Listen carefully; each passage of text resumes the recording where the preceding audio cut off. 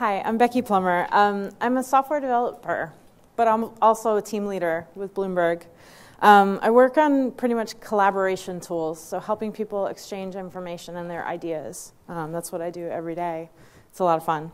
Um, I want to talk about what the future looks like in 2050, but specifically for women in technology. I think for similar to a lot of the other talks that have happened, we need to kind of look at the past, right? What, what's happened in technology specifically? Where have we been? Well, there's been a lot of really exciting technological advances. I'd say, I want to say 1950, but really it's a little bit wider of a gap. The internet. Who doesn't love the internet? Okay. the personal computer. Okay, we've all got one in our pocket now. Um, the pacemaker, really important. The insulin pump, television, the vacuum, and the smoke detector. Think of a technological advance that you know of that was created by a woman. Show of hands. How many of you can think of just an advance that was made by a woman? Okay, cool. Think of, show of hands, um, how many of you can think of a technological innovation that was made by a woman? Okay, a few. All right, well, hopefully after this talk, there will be a few more hands. okay, so here's some examples that I learned about um, when I was preparing for this talk. The syringe, who knew about that? Central heating. Who doesn't love central heating, especially in this room right now? Residential solar heating. The refrigerator. The dishwasher the foundations for telecom and Wi Fi. Who doesn't like Wi Fi? Okay. And Kevlar. Kevlar is pretty important, right? Okay, awesome. So in 1950, women made up about 29% of the workforce in the post-war era. We all kind of know, you know, what happened there. And that's increased to the well-known number of about 47%. Still not entirely equal. Currently, around 14% of senior level executive positions in 14, Fortune 500 companies are held by women. It's a lower number, right? But did you know that around 40%, last year it was a little bit less, but around 40% of new businesses are started by women? Did you know that? It's a pretty big number if you ask me. I'm, I'm kind of excited about that. I'll give you some recent examples. Um, you can shout out any that you've also, you know, you've thought of, you can add. 23andMe, chromosome mapping, figuring out where you're from. Pretty cool, right?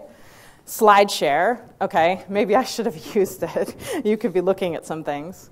Skimlinks, figuring out, you know, who's clicking what and where your things are going. Stayful, how to find small businesses when you want to travel. And littleBits. Who do, does anybody know little bits out in the audience? Okay, little bits are really exciting. They're these little um, pieces of like a circuit board that kids can use to like make something happen. Some, it's a kit that you can buy. Look it up. It's pretty cool. I'm pretty excited about it. Um, are there any other examples that you can think of off top of your head? Anyone want to shout anything out? Okay, moving on. Let's talk about some co founded businesses. I was actually surprised to find that I knew more of the names on co founded businesses than I did of just women founded businesses. Flickr, okay. TaskRabbit, yes. HTC, who has one of those in their pocket? Okay. iRobot, cool, huh? Also, the CTO of One Laptop Per Child is a woman. Does anybody know One Laptop Per Child? Cool, a couple people. Sweet. So, what does all of this mean for 2050? Well, the growth of women is currently a priority. Who's had a conversation about you know, women in technology in the past? There's definitely a few of you because I was talking to you at the break.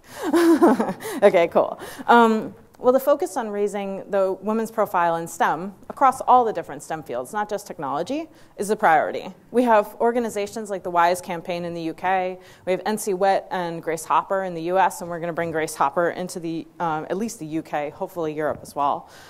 We're going to really be pushing for change, right? So we're going to see some changes.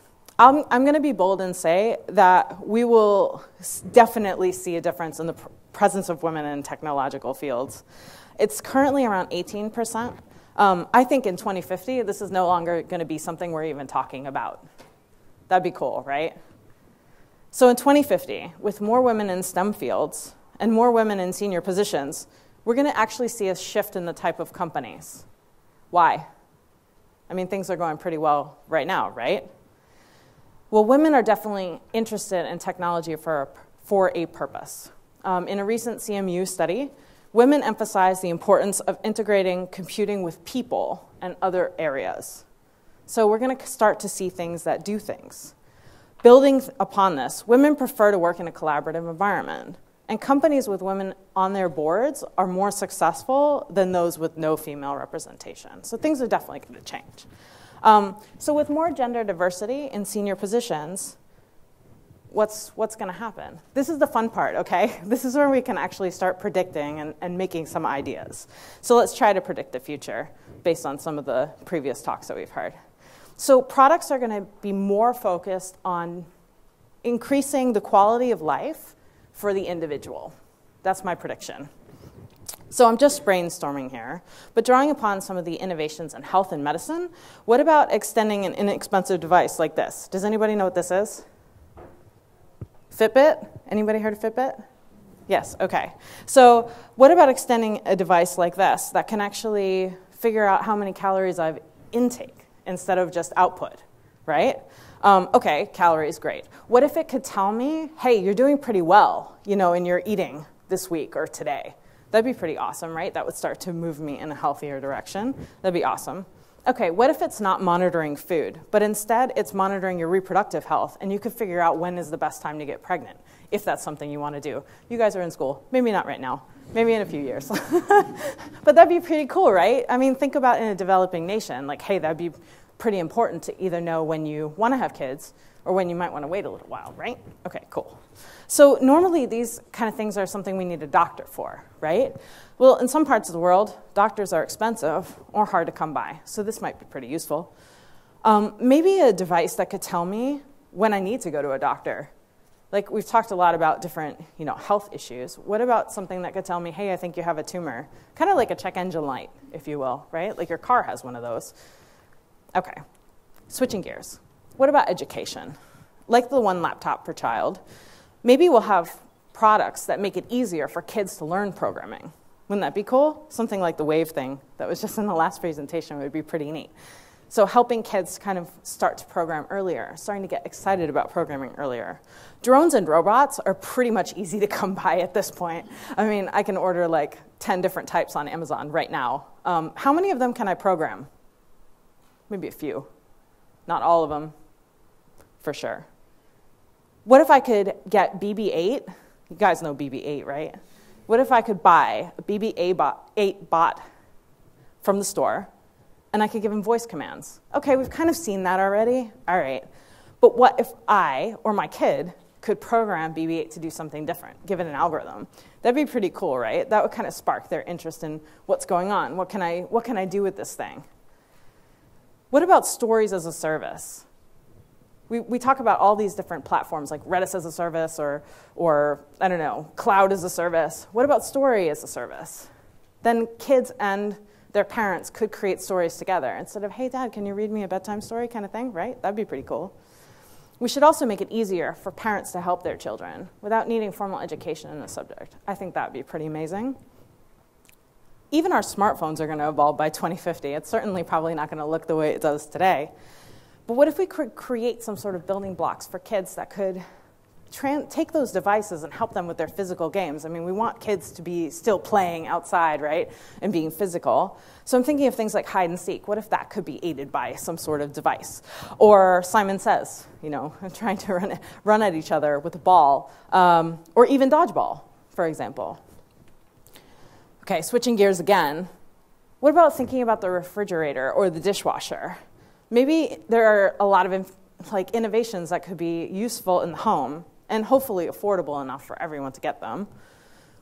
Let me think. What are things that I have to do, but I don't want to do? I've got a long list, let me tell you. Um, definitely chores are on the list, like dusting or cleaning out my cat litter boxes, which I do not want to do. Um, iRobot made us the Roomba, right? Could there be a robot dust bunny? That'd be pretty awesome. We could market these things, different styles, different animals. That would be pretty cool.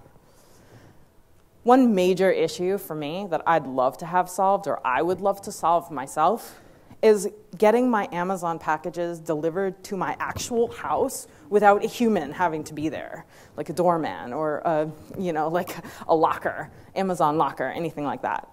Um, I've actually thought about creating my own special lockbox that the delivery guy could come up to and like scan the package code and the thing would pop open and they could put it inside and then latch it. That'd be pretty cool, right? Convenient. Even cooking dinner. I don't want to do that. I deliver most of my food into my house. Um, it'd be great to have a home robot, drawing from one of the earlier presentations, a home robot that could actually receive my delivery, maybe from the box, maybe just as a robot, unpack it, refrigerate where necessary, and then actually make me dinner when I walk through the door. Hey, wouldn't that be amazing? I'd buy one of those. Um, perhaps my home robot could also monitor my preferences, like how sensitive I am to spice, how sensitive my family is to, I don't know, what are their interests, their likes, dislikes, you know, pulling data from different meals that we've had together and, you know, hitting a like button. I don't know what it is, but being able to, for me, to say, hey, this is what I want to eat this week, the robot could do all of the ordering and then make it to the preference of everybody in the group. How amazing would that be? I think it could happen. Um, even better, it could know my budget for groceries and do all of my online ordering for me. That would be amazing. Hey, it's only 35 years, right? This could totally happen. Anybody want to work on this with me? I'm open. Looking for a team. cool. I've got one. Um, these are all examples of things that I hope will already exist in 2050. I'm sure you have many others popping into your head right now. Yes? Show of hands. Anybody got an idea? Sweet. A lot more hands. Awesome. All right. So, considering in 2050 there will be more women in decision making positions, I'm hoping we get to that even balance. Yes? Awesome. The way we work may actually change as well. Um, the way we establish businesses may actually change. We will probably become more flexible and collaborative together. Should be pretty cool. Perhaps we can utilize social platforms and video conferencing kind of system ideas to share information um, and be able to work anywhere. That's something we all want to do, right? Who doesn't want to program on a, on a beach in Tahiti? I certainly do. Yes, exactly. So by 2050, perhaps there'll be holograms. So our meetings, we won't actually have to physically be in the meeting. We can physically be in the meeting, which everybody says is better than video conferencing, but we're actually wherever. That would be cool. So let's do that. Perhaps even the way we create businesses will change. It'll become more collaborative. So right now we have like startups that go for venture capital funding, um, and they have a bunch of people that are thinking about their idea and giving them money and, and saying, you know, how, this is my input. Like you should change in this way. What if those people were actually helping build the business as well as getting their updates and giving them money?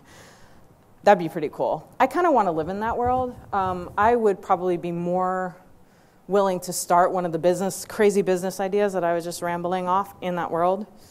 So I really hope in 2050 that we're no longer talking about women, bringing women into technology and, and other STEM fields, because it's already solved.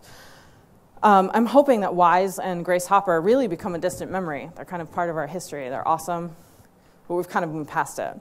Um, I'm hoping that we're going to be more focused on solving something like, hey, we need to figure out how to get rid of allergies quicker than like the, the shots that currently exist, because the society of technological cat lovers can't bring their cats to work. I hope that's what we're talking about in 2050, because that would be pretty awesome. So, what am I going to do about it? Well, I'm definitely going to continue to come up with crazy ideas. I'm pretty good at that, right? We all agree. Um, I'm going to continue to mentor younger women, women in you know, lower grades, in high school, um, middle school, first robotics, that kind of stuff. Um, I'm going to continue trying to bring people into technology. I'm also going to continue being a woman in technology because that is those are my credentials. That is what I do best.